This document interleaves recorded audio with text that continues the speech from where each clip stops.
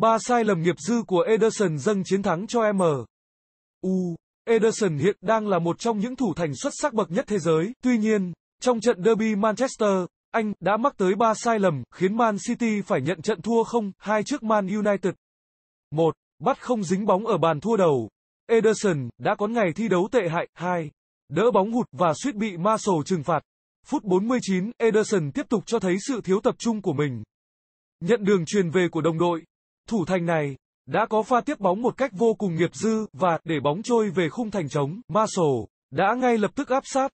Và nếu Ederson chậm chân hơn một chút tỷ số đã là 2, không chỉ ít phút sau khi hiệp 2 bắt đầu, 3 ném bóng cho McTominay ghi bàn. Phút 90 cộng 6, khi tỷ số đang là một không nghiêng về phía M.